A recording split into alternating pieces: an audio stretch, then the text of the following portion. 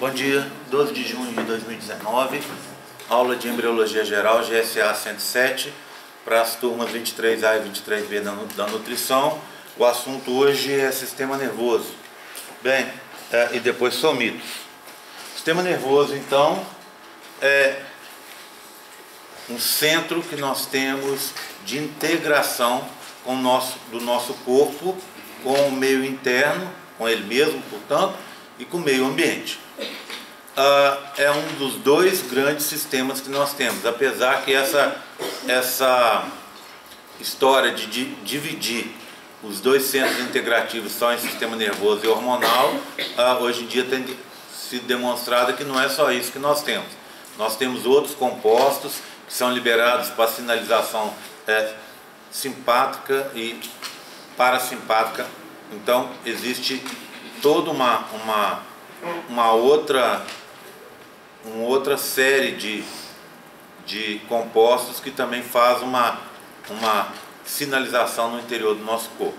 Bem, uh, sistema nervoso então, ele é subdividido em duas grandes regiões.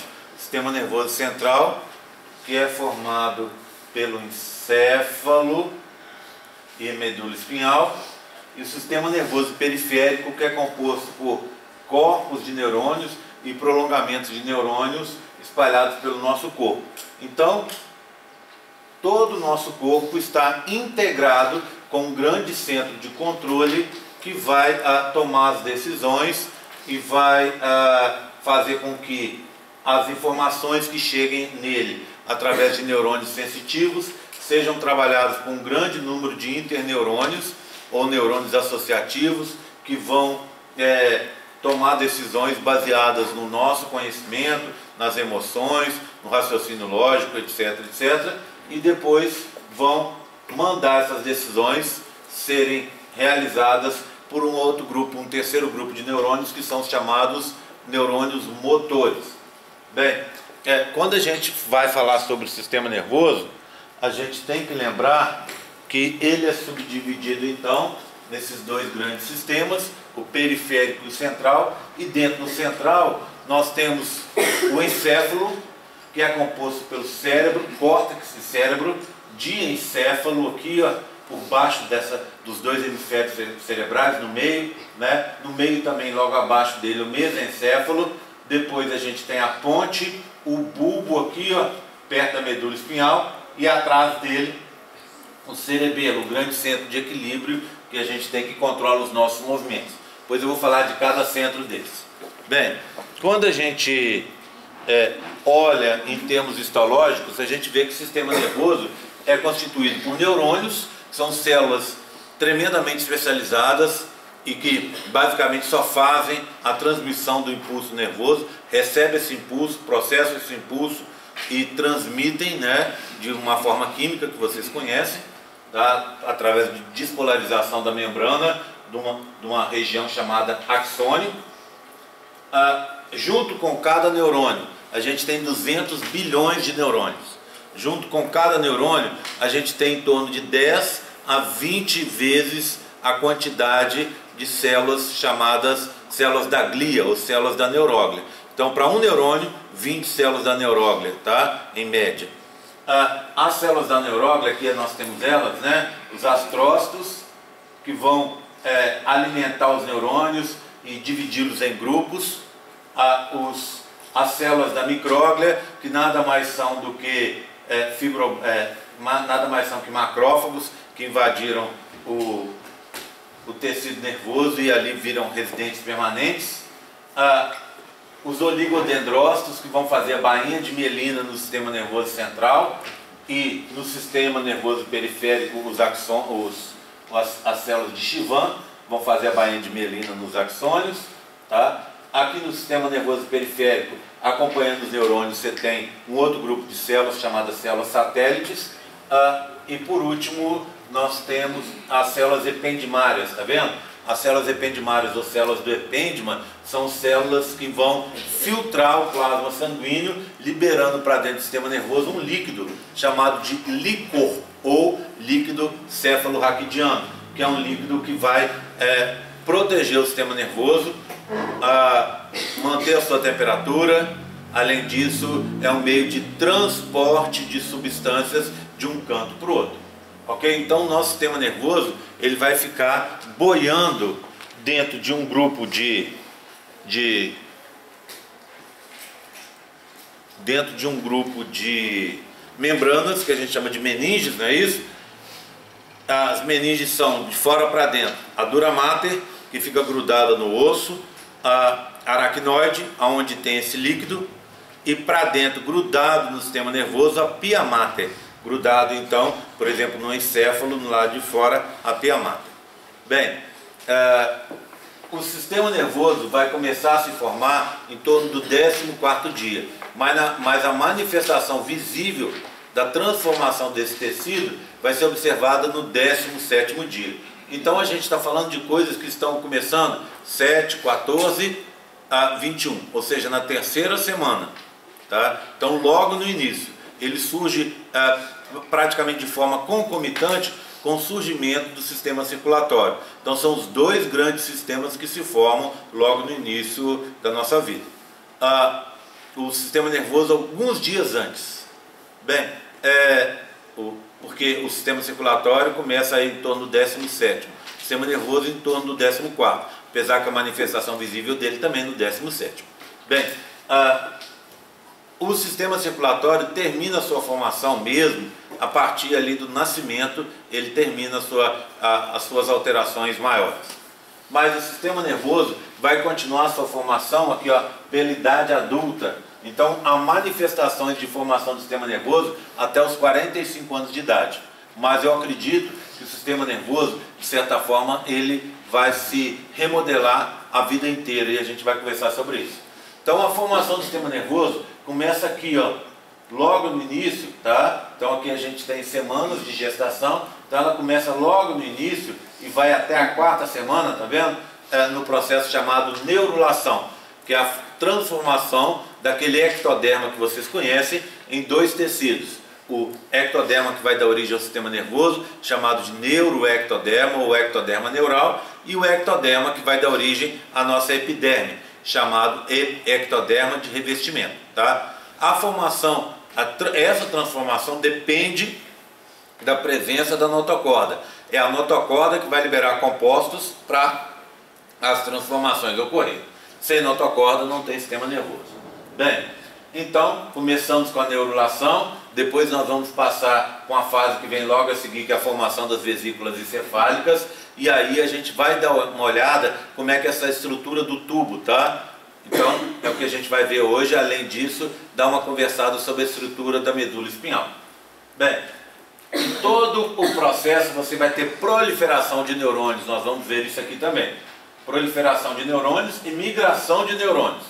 Interessante que você cria neurônios, os neurônios migram e ao mesmo tempo você vai tendo apoptose, ou seja, você cria um monte de neurônios que você mesmo vai matar. Por que isso acontece a gente não sabe, tá? Mas eles vão começar, logo assim que são gerados, começam a ser mortos também. Vai, vão ser, o sistema vai sendo remodelado. Ao longo do processo, ah, você vai ter a formação das sinapses. Essas sinapses, as interligações dos neurônios, começa aí em torno da, da 18ª semana, 19ª semana, e vai seguir para frente, seguindo até a adolescência pelo menos, tá? Apesar que eu acredito que essa remodelação uh, siga um pouco mais à frente, inclusive.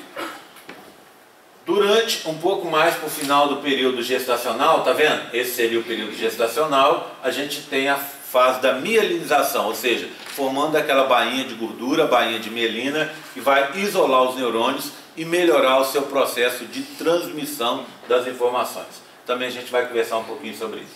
Bem, uh, aos 45 anos começa a desmielinização, ou seja, os neurônios começam a ser perdidos. E uh, a partir da idade adulta, você começa a ter um processo de morte dos neurônios uh, maior do que um processo de criação dos neurônios. Apesar da gente perder grande número de neurônios todo dia, o nosso funcionamento aparentemente não é afetado. Alguma coisa, alguma mudança plástica acontece que faz com que a gente possa perder um número maior de neurônios e ainda assim ser funcional do mesmo jeito. Tá? Exceto quando a gente está falando mais, mais um pouco mais para frente, se acontecer doenças degenerativas, igual Alzheimer, igual Parkinson, doenças que vão que causar uma demência, que a gente chama demência senil, não é isso? Que vão alterar, fazer grandes perdas, grandes buracos no sistema nervoso central, que vão acabar afetando o funcionamento do organismo, tá? A parte cognitiva, inclusive a parte física. Tudo bem? Bem, então eu quero começar lembrando para vocês que aos 16 dias, né, você tem a migração do, das células do ectoderma que vão migrar pela linha o nó, formando o embrião trilaminar. Junto com esse processo vai se formar a notocorda. Assim que se formar a notocorda, você vai ter liberação de substâncias indutoras que vão fazer com que aqui na frente surja o sistema nervoso. Esse sistema nervoso, inicialmente, vai surgir na forma de placa neural, tá? Células elevadas, prismáticas altas, que vão se diferenciar das células que estão em redor, tá? Bem, ah, antes da gente mostrar essas células, só mostrar para vocês ah, uma história de saúde que é bastante importante e que eu já enfatizei algumas vezes aqui, mas que nesse slide fica bem clara, o alongamento, o crescimento do embrião ao longo do, do, desses dias e ao longo da sua vida. Ah, olha aqui, ó, embrião com 15 dias, deixa eu marcar aqui, ó, tá vendo? 15 dias. Ah, ainda a gente está começando a surgir a linha e o nó primitivo, tá vendo? Olha, o embrião com 20, 21 dias, ou seja, 5, 6 dias depois. Um, uma vez, duas, três, aproximadamente três vezes e meia o tamanho daquele ali. Ou seja, em seis dias você tem um, uma, um aumento de tamanho quase quatro vezes, é, para indicar então para vocês que esse aumenta o tempo inteiro, tá? Ah, o que, que você tem aí, ó? Aos 18 dias indicada a presença da placa neural, que é a primeira forma do, desse neuroectoderma, tá? aos 19 dias, olha aqui, você já começa a ter a parte de sulco neural já bem estabelecido aqui aos 21 dias, quando inclusive começa a regressão da linha primitiva que vai desaparecer. Bem, então, vamos pegar aqui com 18 dias. Olha aqui, ó. Aqui está o embrião, visto de cima, nós tiramos a cavidade amniótica, né? E aqui embaixo nós temos um corte nesse pontilhado que vocês estão vendo. Corte transversal. Olha aqui, ó você vai ter a presença de uma região elevada. Essa região elevada aqui ó, é a chamada placa neural, é a primeira manifestação do sistema nervoso. Quando surgir essa região, indicada em cinza nos meus modelos, aquela parte branca vai mudar de nome. Ao invés de ser simplesmente ectoderma, vai passar a se chamar ectoderma de revestimento.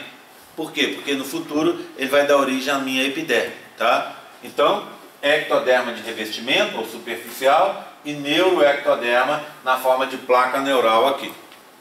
Passa mais uns dias, você começa a ter um afundamento dessa placa, tá vendo? Ó, então, pontilhado aqui, olha lá, ó, a placa está se afundando em direção ao mesoderma, ou seja, em direção à notocorda, é, e dá fica bem visível na região limite entre os dois ectodermas o ectoderma neural, o neuroectoderma, e o ectoderma superficial ou ectoderma de revestimento, você tem uma região aqui, tá vendo? Vai delimitar, vai ficar no limite entre as duas regiões. Essa região a gente chama de prega neural, que está errado, tá? Está escrito, isso aqui é uma figura do livro do Duma, está errado. Ela vai ser a futura crista neural que a gente vai aprender daqui a pouco, tá? Então, está tendo um dobramento desse sistema nervoso para dentro do embrião. Estão vendo, né? Passa mais um tempo. Aqui nós temos o embrião com 22 dias. Olha lá. Começou a ocorrer um fechamento, ou seja, foi dobrando, dobrando, até formar um tubo. Esse tubo começa a se formar na região central do embrião e a gente tem duas pontinhas que vão ficar abertas são os chamados neuróporos. Neuro, nervoso, poro, abertura. Então você tem uma abertura cefálica aqui, neuróporo cefálico ou anterior, e uma abertura caudal aqui, ó, chamada neuróporo posterior ou neuróporo caudal. São duas aberturas, então é um tubo aberto, está se fechando pelo meio.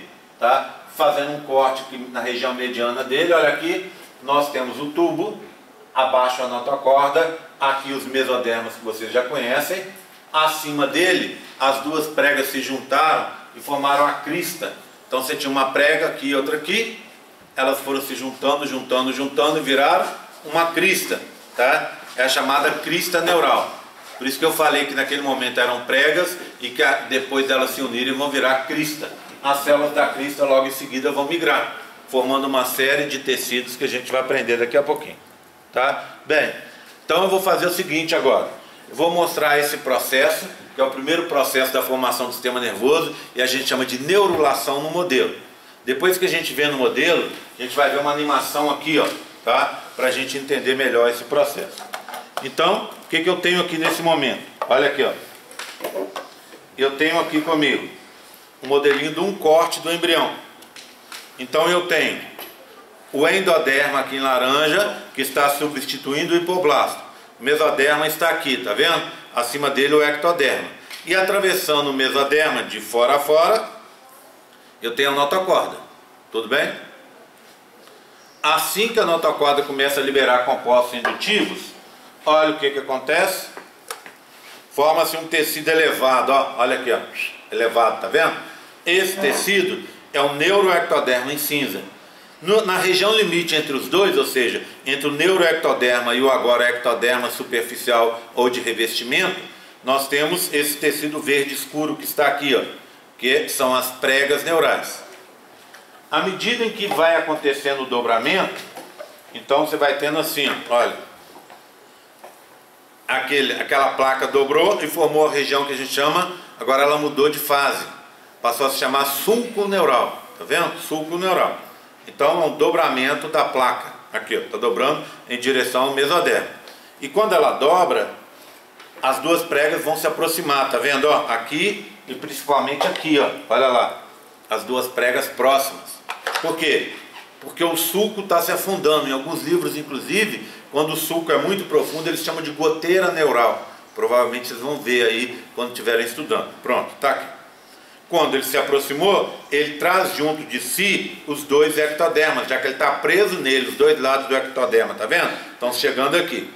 Quando ocorre o fechamento, ou seja, o sulco vira tubo, nós vamos ter então, acima do tubo, as duas regiões das pregas, tá vendo? Aqui. E aí, quando as duas pregas se juntam, forma o que a gente chama chapéuzinho aqui, crista neural, tá? As células da crista neural, conforme eu disse para vocês, daqui a pouco vão migrar e vão invadir o mesoderma, onde elas estão, formando uma série de tecidos, inclusive o sistema nervoso periférico. Então é daí que vem o sistema nervoso periférico, tudo bem? Então, vamos dar uma olhada nessa animaçãozinha, um GIF animado, tá? Então, ele vai ir e voltar algumas vezes. Está acabando, ó. Aqui a notocorda, esse azul claro é o tubo neural, tá vendo? Na região limite entre ele, azul mais escuro, olha aqui, ó, logo depois dele, é a prega neural. E esse azul intermediário, que não é nem o mais claro nem o mais escuro, é o ectoderma, tá? Tudo bem? Embaixo então, aqui agora vai surgir o mesoderma, aqui e aqui. Vai surgir cinza, tá vendo? E olha as células migrando lá. Migrando aonde? Da crista. Então vamos dar uma olhada? Vou explicar de novo. Ele vai rodar, eu vou explicar para vocês, tá? Tudo bem? Deixa ele acabar. As células aqui estão invadindo o mesoderma, tá bom? Ocupando todo o corpo. Então, olha, você começou com placa, está dobrando, virando sulco, aproximando os dois, as duas pregas e puxando junto o ectoderma de revestimento. As duas pregas se encontraram, virou crista. Olha como agora está fechando lá em cima, tá vendo? Está fechando porque está se aproximando do ectoderma. Agora as células da crista estão migrando e ocupando espaços no interior do mesoderma. Ok? Tudo bem? Isso só ocorre devido à presença desse carinha aqui, ó, notocorda. Sem ela a gente não teria esse processo. Tranquilo? Então, essa é o que a gente chama neurulação. Todo mundo entendeu? Sim? Bem, vamos, já que a gente está falando de crista, eu vou soltar alguns slides para contar para vocês o que, que vai acontecer com as cristas, tá? Aqui. As cristas neurais, como eu disse para vocês, vão formar sistema nervoso periférico. Está errado, tá? Não é gânglios, não, é gânglios, tá? Os gânglios espinhais ou espinais, lembra da histologia? Tem uma lâmina de medula e tem uma é, lâmina 35. Do lado assim tem duas bolinhas. Essas bolinhas são o que? Ah, sistema nervoso periférico. Então dá para a gente ver lá, na medula a gente vê o, o dos neurônios multipolares e nas bolinhas a gente vê os pseudo-unipolares que são o sistema nervoso periférico. Então grudadinho na medula você tem as bolinhas que são os gânglios. Isso é sistema nervoso periférico. Então são formados pelas células da crista neural. Além disso, neurônios sensitivos e autônomos espalhados pelo nosso corpo também vêm do sistema, também vem da crista. Portanto, todo o sistema nervoso periférico está vindo daí, espalhado pelo nosso corpo. Só que essas células da crista neural também formam outras coisas. Por exemplo, elas vão formar as células de Chivan, que faz a bainha de mielina do sistema nervoso periférico. Elas vão formar as leptomeninges. Lembra da história das meninges que eu falei há pouco? Você tem dura mata que fica grudada no osso. E depois você tem as leptomeninges, as meninges mais finas. Essas leptomeninges são aracnoide e pia mater, que vai ficar grudada no sistema nervoso. Essas leptomeninges vêm das células da crista neural. Além disso, as células que dão cor à pele, os melanócitos, ficam na base do nosso, do do nosso, da nossa epiderme, vêm daí. Elas produzem melanina. Então são da crista neural também. Além disso, o conjuntivo, cartilagem e ossos tem pra, da face e do crânio vão ter uma contribuição dessas células. A gente vai ver que eles não são formados só por essas células, não. São formados também por uma região dos somitos chamado ah, somitômeros, tá? Mas junto com os somitômeros você vai ter a formação dessas estruturas de conjuntivo da minha cabeça e do meu pescoço. Odontoblastos, células que dão origem aos dentes junto com outro grupo de células chamados ameloblastos. Então, são originados também das células da crista neural. Células de duas glândulas, da tireoide, as parafoliculares, tá? e da suprarrenal, as cromafins, vão ser originadas então das, da crista neural. Portanto, vocês estão vendo que essas células da crista neural, além de formar o sistema nervoso periférico, vão formar também um monte de estruturas que a gente tem presente no nosso corpo, ok? que teriam, portanto, uma origem comum, né? Agora eu vou voltar para lá, tá? Deixa eu só me localizar aqui. Ah, já que está aqui o slide, deixa eu aproveitar e falar sobre mielinização. Aqui a gente tem a formação da mielina pela célula de Chivan, ou seja, sistema nervoso periférico. Mas também é importante lembrar que o mesmo processo acontece nos, pelos oligodendrócitos no sistema nervoso central, tá? Só que os oligodendrócitos são assim, ó. Vamos só relembrar aqui para trás, ó. Olha lá, ó. Aqui está um oligodendrócito, tá vendo, ó? Aqui ele lança prolongamentos que vão se enrolar no axônio. Já a célula de Chivan, é, isso aqui seria talvez uma célula de Chivan, tá vendo? Como se fosse um pãozinho enrolado é, sobre o axônio, fazendo como se fosse um rocambole, tá? Bem, então a mielinização vai acontecer um pouco part... perto do final, a partir da 28ª, 29ª semana de desenvolvimento. E ela é bem bacana, olha aqui, ó. Aqui está a célula de Chivan, olha o núcleo dela, olha lá. Ela vai enrolar o, o, a membrana plasmática no entorno do axônio, tá vendo? Ó? E entre uma, entre uma uma membrana que ela enrolou e a outra dela mesma que ela está enrolando, ela põe essa gordura, a mielina, que vai fazer, olha, vai repetir, quer ver? Olha lá, olha lá. Então essa parte de fora, o contato dela com o meio externo, tá vendo? Então essa aqui é uma célula, que está abraçando aqui, ó, abraçando o axônio.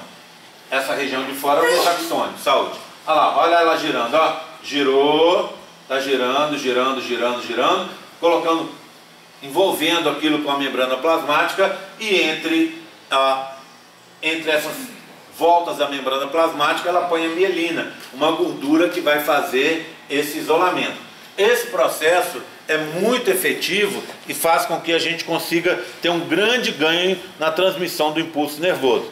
Se você der uma olhada, então, por exemplo, nesse nervo aqui, ó, que é um nervo, que é um neurônio mielínico, que, ou seja, que é envolvido com a mielina, a transmissão do impulso faz assim, ó, ela vem aqui, a carga elétrica despolariza aqui, aí despolariza aqui, depois despolariza, aqui, despolariza aqui, e assim vai. É uma, é uma condição que a gente chama saltatória, não é isso? Que vai saltando.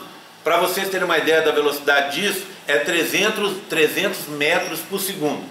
Eu tenho 1,72m, então do meu dedão do pé até a minha, a minha cachola é uma é coisa de milésimos de segundo. Tá? Se você não tivesse, a gente tem também alguns neurônios que não são mielinizados, são o que a gente chama neurônios amielínicos, para transmissão de potenciais de ação que não precisam de tanta velocidade assim. Ainda assim, eles correm numa velocidade de 20 metros por segundo. Ou seja, você vai ter 15 vezes o aumento, um aumento de velocidade quando você põe a mielina. Essa mielina pode ser perdida, não é? Então, aqui essa é uma aula para medicina, então não vou me estender alguns pontos aqui não, para não complicar demais a vida de vocês, mas existem algumas doenças, como por exemplo, não sei se vocês já assistiram esse filme, O Óleo de Lorenzo, que é um filme maravilhoso, é um filme aí da década de 80, já não é, já não é, é um filme, é um filme bem antigo, né? Com o Nick Nolte e a Susan Sarandon, são as mães do menino, do Lorenzo. Esse menino tem a adrenoleucodistrofia, que é uma doença autoimune que destrói a bainha de mielina. Então é um menino super bonitinho, tá? Feito por esse ator aqui, e ele vai perdendo os movimentos e tendo uma série de problemas uh, devido à, à adrenoleucodistrofia. A perda dessa bainha de mielina, porque o sistema imune dele ataca as células que produzem a bainha de mielina e ele vai perdendo várias coisas, é, vai ficando estranho, vai ficando agressivo, vai tendo dificuldade para se alimentar, depois ele acaba tendo é, dificuldade para andar. Então o pai e a mãe dele começam a lutar. São pessoas comuns que começam a se inteirar no mundo científico para tentar ajudar o menino. E é super bonito porque eles vão atrás de cientistas, gente que trabalha com assunto, estudam o assunto para procurar ajudar o filho deles. E eles acabam, devido à insistência deles, acabam conseguindo, junto com outras pessoas, criar um óleo. Esse óleo tá, é um óleo de é, grande peso molecular, é o óleo azeite de Lorenzo, que as pessoas descobriram que se for administrado aos pacientes, está vendo? 24 a 26, 26 carbonos. É cadeia muito longa. Então, ao administrar esse óleo para os pacientes, na alimentação mesmo, né, eles conseguem diminuir o ataque desse sistema imune contra, contra as células contra as células que produzem baía de mielina. Então conseguem é, diminuir o andamento da doença. E se for administrada a partir, antes que, quando surgirem os primeiros sinais da doença, você consegue bloquear grande parte dos efeitos da doença, levando a um prolongamento e um aumento da qualidade de vida dessas crianças, que depois podem virar adultos. Bem, deixa eu só falar um spoiler aqui, tá? No filme o Lorenzo morre e me deixa muito triste, no final a gente fica muito tocado, porque morre o Lorenzo e depois eles cortam para os créditos, mostrando as famílias que foram realmente ajudadas pelo, pelo óleo de Lorenzo. Então mostram pessoas reais, com crianças reais, inclusive a família do Lorenzo, que foram ajudados por essa batalha dos pais do Lorenzo. Então na época que eu assisti o filme eu fiquei muito, muito tocado, etc, etc. Passaram, passaram-se muitos anos e eu assisti e eu, eu escrevi sobre esse texto, é, sobre o Lorenzo, na Ciência Hoje, um texto lá quando eu era colaborador, eu era cronista da Ciência Hoje. Então o que acontece? Que é uma revista de divulgação científica a mais importante que a gente tem aqui no Brasil. Bem, aí, quando eu fui escrever, vários anos depois, sobre o filme, aí lendo artigos em inglês, coisas em inglês sobre o Lorenzo, aí eu fiquei super feliz. Eu descobri que o Lorenzo, na realidade, não tinha morrido. Aí assim, me, me alegrou muito, porque na realidade o Lorenzo, no filme ele morre, mas ele vai morrer muitos anos depois, olha, ele morre em 2008, tá? Obviamente debilitado pela doença, mas ele conseguiu viver aí, ó, de 78 a 2008, ou seja, uh, 78, 88, 98, 2, 2008. Ele viveu até os 30 anos uh, por causa dessa ação que os pais dele fizeram. E normalmente o que se esperava para crianças que tinham esse problema é que elas morressem no, normalmente na infância. Então eles conseguiram uma vida de 30 anos para o filho deles uh, devido a, a essa insistência deles. É bacana isso, né? Então, assim, quando vocês puderem, pega aí, hoje em dia se tem na internet, você consegue com muita facilidade. Não sei se o filme tem integralmente no YouTube, mas é um filme bem famoso e que vai alegrar o dia de vocês assistindo. Tudo bem? Bem, uh, agora eu queria conversar com vocês sobre. Aqui nós temos o embrião com 25 dias, tá vendo? Ele está sofrendo dobramento. Assunto da aula que vem ele tem duas aberturas, lembra? O neuróporo cefálico e o neuróporo caudal. Tá? Se você cortá-lo de fora a fora, você vê que é um tubo, tá vendo? Essa primeira parte do tubo alargada que vai me interessar, daqui a pouquinho a gente vai falar sobre ela, tá? E essa parte de trás vai formar a medula. Aqui, essa parte alargada vai formar o encéfalo, e é isso que nós vamos ver. Antes de falar disso, eu quero voltar ao assunto das aberturas. Essa abertura que nós temos aqui, ó, é o neuróporo caudal posterior. Essa abertura que nós temos aqui é o cefálico ou anterior. Ah, eles vão se fechar aos 25 dias. Fecha o neuróporo cefálico e aos 27 dias vai fechar o neuróporo posterior ou caudal. Se não ocorrer esse fechamento, estou acabando, tá gente? Se não ocorrer esse fechamento do neuróporo cefálico, vai dar anencefalia. Na realidade, o termo certo, anencefalia, é bebê sem cérebro, sem encéfalo, tá? Na realidade, não existe na espécie humana uma criança que nasce totalmente sem encéfalo. Ela pode ter pequenos partes do encéfalo mal formado. Então a gente costuma chamar do jeito correto é merocefalia e não anencefalia. A criança nasce uh, com, basicamente sem cabeça, tá? parecido com esse aspecto que nós temos aqui.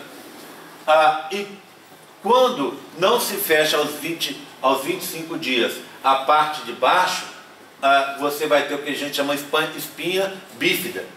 Na espinha bífida, olha, a vértebra não se forma integralmente, tá vendo? Ela não se forma integralmente e fica aberta.